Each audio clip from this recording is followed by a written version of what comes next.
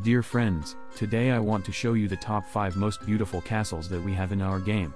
Well, we'll start our top 5 with the Imperial Castle, the most beautiful castle located by the sea on the border, where our Khuzaits are located. Well, this castle is just beautiful, there is a lot of beautiful architecture and the main castle is just perfect for defense. Friends, if you want to know more about these castles, what they are called and what culture they belong to, be sure to write in the comments, like and subscribe if you want me to make a more detailed video where I will describe these castles and describe their pros and cons in defense and attack, everyone enjoy watching.